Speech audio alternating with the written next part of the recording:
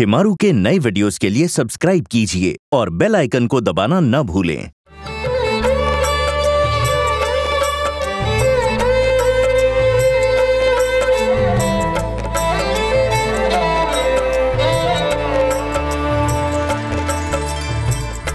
किसी कारणी से मुख को मोड़ा, बीच भवर में किस विधि छोड़ा?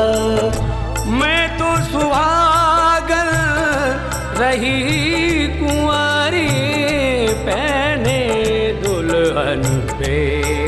केसरिया बालम आओ हमारे देश।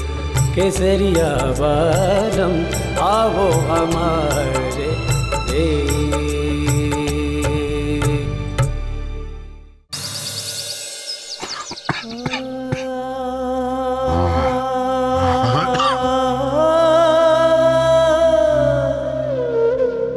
जोखम की बात तो न है वेद साहब जोखम तो घना है।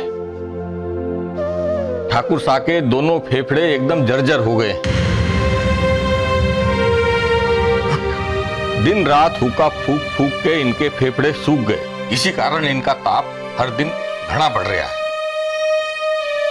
बापू ठीक तो हो जाएँगे ना वैद साहब होने को तो हो जाएँगे पर धीरे धीरे इनका शरीर जवाब देना शुरू कर देगा।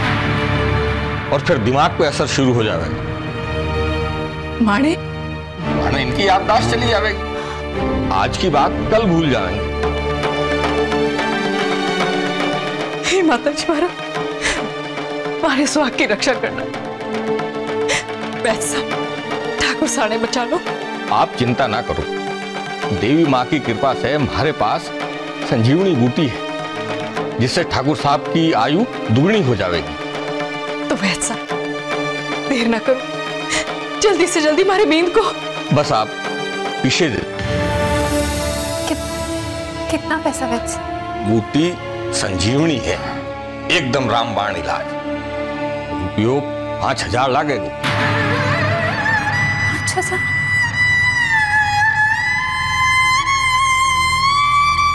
अरे इतना पैसा खर्च करने की क्या ज़रूरत है? गिसो। या तू वेदराज जी को बाहर छोड़ करके आ तू थोड़ा सा काढ़ा बढ़ाकर मारे को पिला दे। मैं दो चार दिन में बिल्कुल ठीक हो जाऊँगा। अरे ठाकुर साहब आप रो पीछे की चिंता काई हो रही? आपरी रुक्मी बड़ी हवेली पे राज कर रही। अब आप संजीवनी बूटी तो के पूरा गिरनार पर्वत खरीद सको। आप रुको वैद साहब। अरे तेरा दिमाग खराब हो गया है क्या? इतना पैसा कट्ठे से लाओगे? हाँ? आप उसकी चिंता नहीं करो जी। आप बस आराम करो।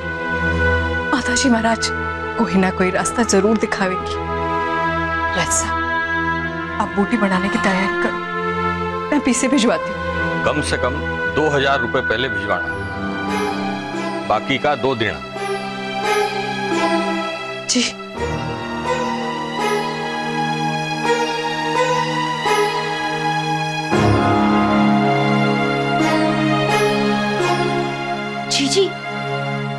अभी आऊँ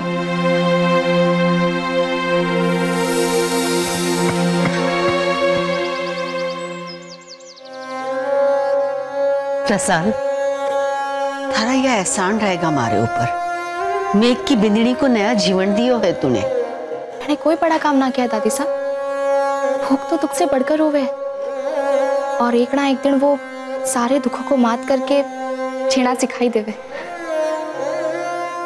हाँ और थारे से अच्छा ये बात और कौन जान सके कि भूख कितनी बड़ी चीज़ हो गई।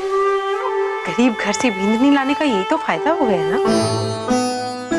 ये कह रही है चंचल, जाने है ना? अब ये इस घर की बिंदनी है। इससे इस तरह से बात करके अपने आप को छोटा साबित ना करो।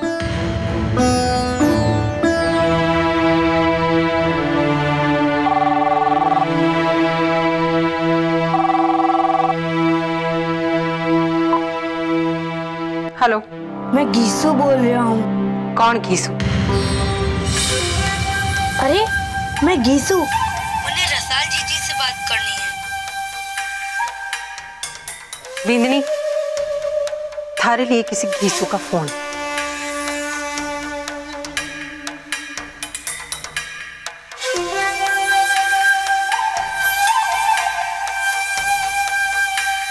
खेसू हमारा छोटा भाई है। अच्छा? तुम्हारे को तो ऐसे छोटे लोग याद ही ना रह गए।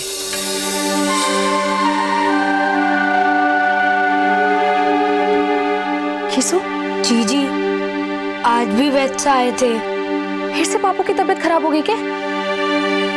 अरे बोल ना क्या कहा वैसा ने?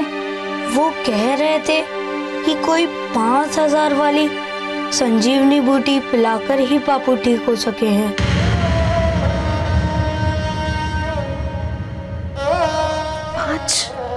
हज़ार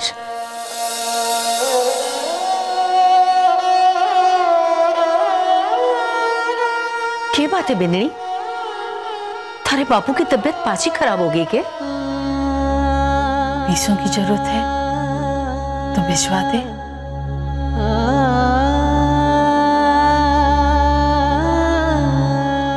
ना वो वैसा ने पाँच हज़ार मांगे लेकिन माँ कुछ ना कुछ इंतज़ाम ज़रूर कर देगी। आप चिंता ना करो।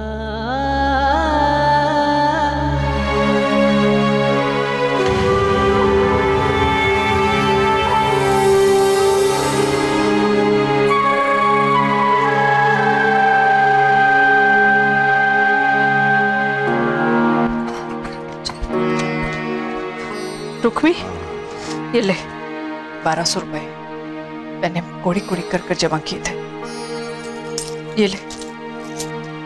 खीसों की बिंदड़ी वास्ते बनाए थे पर खीसों के बापू ठीक हो जाएँगे। तो ऐसे चार जोड़ी बढ़वाऊँगी। तू उन्हें बेचकर पैसा को दो हज़ार रुपए दे दीजिए अरे मैं बिल्कुल ठीक हूँ। का इतना पैसा खर्च रहा? हमारे को बस थोड़ा सा काढ़ा बना करके दे दो। सब ठीक हो जाएगा। हाँ। नहीं जी पीसे आपकी जान से बड़े हैं के आप तो बस आराम करो जी। तू जल्दी जा। किशोर ने भी साथ ले जा।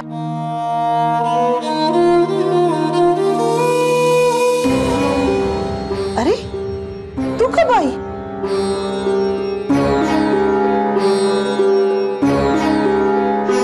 आप घड़ी खम्मा घड़ी कम्मा धोप धोप काकी सा धोप धोप जीते रहे। अरे अरे। आप कहीं उठ रहे हो? आप आराम करो। थोड़ी देर पहले वैद साहब मिले थे। उन्हीं से पता चला कि मदन सारी तबीयत ठीक ना है इसलिए हाल जानने चली आई। काकी साहब जो घटना तो घट गए देवर साहब कह रहे थे कि पुरानी बातों को याद करके रिश्ता क्यों इकट्ठा करें? हाँ बात तो सोलाने सही है। अब काकी साहब प्रसाल को क्यों नहीं बुला लेती? आपको मदद मिल जाएगी। वैसे प्रसाल की नानी की तबीयत तो ठीक है ना? अरे जा ना वैसा थारी बार देख रहे होंगे। जल्दी जाओ दवाई लेके आ। अरे वैसा की तो अब उम्र हो चली। गाँव में अपने अस्पताल में एक नया डॉक्टर आ गयो है। उसके हाथों में बड़ा गुण है। माता जी महाराज उसका भला करे। मारे घुटनों का इतना पुराना दर्द देखते ही देखते ठीक कर दियो है। और पीसा भी घड़ा ना लेवे है। हाँ काका साहब आप उस डॉक्टर को क्यों नहीं दिखाते? अरे डॉक्टरों का भी भगवान की तरह हो गए जितना विश्वास करो उतना फल मिले। पर मारे को तो वेदसा पर विश्वास है।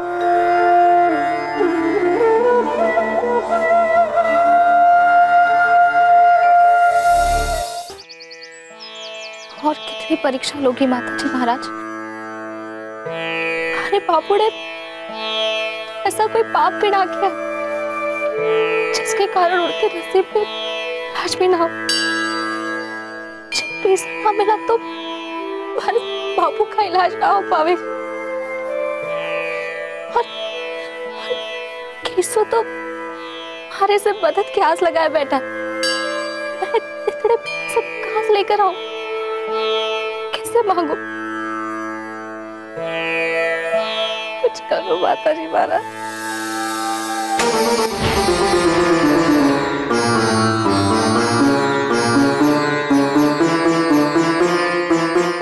हाँ हाँ उठा ले उठा ले। ये पीसा थारे, और थारे उस भिकमंगे परिवार के लिए ही तो है। के हुआ? बिंदनी सा को सच कड़वाना क्यों है? पहले तो थारी बहन को कांटा बना के इस हवेली की मछली फांस ली। और फिर फिर जब उस मछली के चक्कर में डूबने की बारी आई तो थारे बाप ने थारे को जाल बना के बिछा दिया। मैं आपके पास इस रिश्ते की भीख मांगने ना आई थी ताई बड़े ठाकुर से आए थे हमारे बापू के पास। हमारा हाथ मांग रहे। क्योंकि थारे उस जालसाज बापू ने। हमारे पास और कोई चारा ना छोड़ा था। तो उस बेचारी कमल को धोखा दे सके, मासा को धोखा दे सके पर मारे को ना। मैं अच्छी तरह से जानू कि ये सारी चाल थारे और थारे बापू की है। इस बार जब तू राजौत गई तो यही खिचड़ी पका कर आई है ना कि हवेली वालों से कैसे पैसे अटने इसीलिए तो थारे वापस आने के तुरंत बाद ही थारा बापू बीमार पड़ गया। तुम लोगों ने हम ठाकुरों का नाम बदनाम कर दिया। अब अपने सासरे से ये पीसे ले जाकर अपने बाप का इलाज करवा ले। और रही सही रीति रिवाज पर मट्टी डाल दे। और सिर्फ़ अपनी झोली बढ़ते रहो।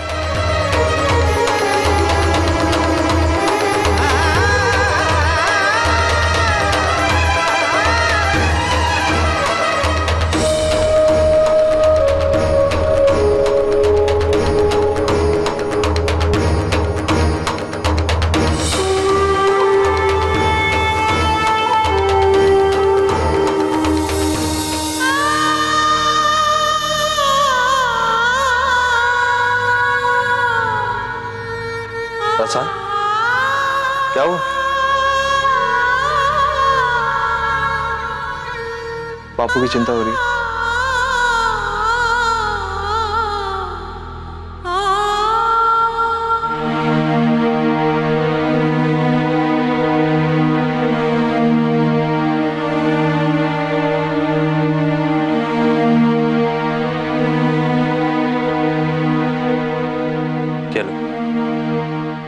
दस हज़ार रुपए हैं। अभी के अभी नंद काका या सुरेंद्र के हाथों राजौत भिजवा देते हैं, ताकि शाम तक तुम्हारी माँ के हाथों में पहुँच अगर और पैसे चाहिए तो तो तुम मुझसे बेझिझक मांग सकते हो रसल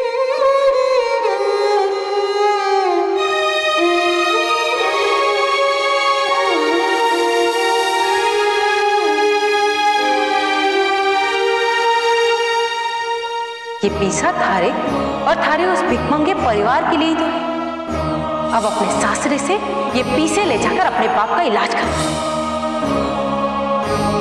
रसाल बिना मांगे पैसे देकर हमारे और हमारे बापू का बाण बढ़ा दिया है आपने। पर मैं ये पीसे ना ले सकूँ। क्यों? इसकी कोई ज़रूरत ना है। हमारी माँ कहीं ना कहीं से इंतज़ाम कर लेगी। रसाल तुमने मेरी मासा के लिए इतना कुछ किया है और फिर दीप भाई साहब की इतनी बड़ी गलती को माफ़ किया क्या मैं तुम्हारे बापू के लिए इतना भी नहीं कर सकता? आपका इतना सोचना ही हमारे वास्ते बहुत है कुंवर साहब पर हमारे को माफ़ कर दीजिए। संकट में ना डाले साहब हमारे बापू का इलाज माँ करवा लेगी। सोच लो रसाल तुम मना करोगी तो मासा को भी बुरा लगेगा।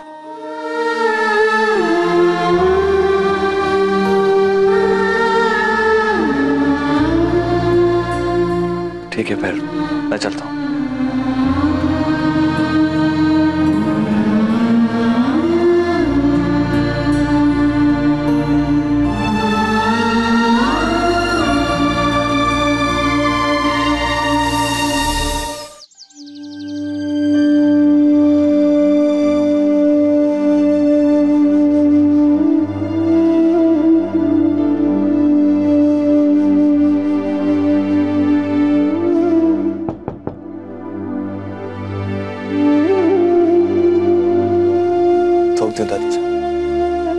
साहब माता जी महाराज थारे को खुश रखे दादी साहब आज ऑफ़िस में एक अर्जेंट काम है। मुझे जाना ही पड़ेगा। जीवन किसी के वास्ते ना रुके है रणवीर। अपनो कर्म तो करनो ही पड़े। जी। मैं चलता हूँ लेकिन जल्दी आने की कोशिश करूँगा। रणवीर। जी। परसों मेघ की शोक भिनाई की रस्म है। जी तायसा ने बताया था। इस रस्म के वास्ते थारी बिंदनी के पीर वालों का होना बहुत ज़रूरी है। खासकर थारे ससुर ठाकुर मदन सिंह का। और उन्हें न्योता देने थारे को खुद जाना होगा हाँ, मेरा जाना ज़रूरी है दादी साहब। रस्म है बेटा। जी ठीक है मैं राजू चला जाऊँगा।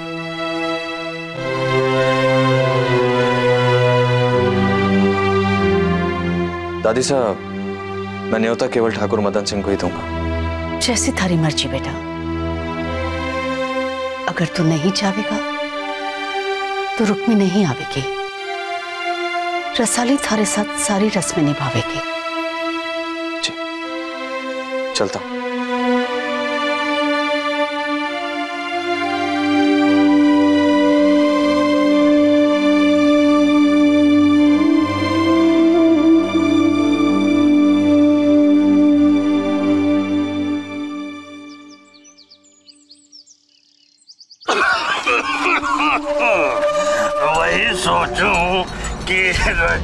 की हवा में अचानक इतनी खुशबू कहाँ से आ गई? छोड़ मारा रास्ता। अरे रानी ये तो बता तू अठे कब आई और क्यों आई? चल घिसो बापू की दवाई देनी है। अरे अरे अच्छा तो बापू री सेवा खातिर छोरी अठे आई है। अच्छा बहाना मिल गया वो है गाँव वालों से असलियत छुपाने का।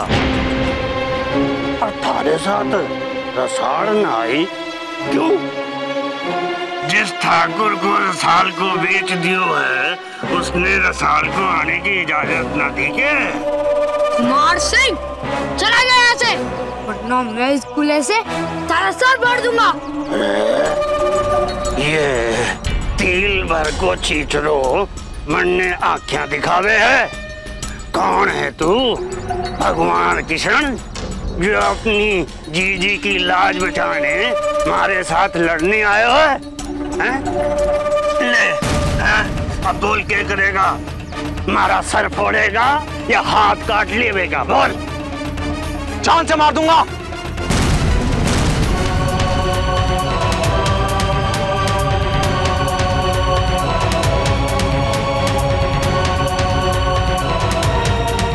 छोड़ मेरी पत्नी का हाथ। नहीं तो जा खड़ा है ना? वही खा दूँगा।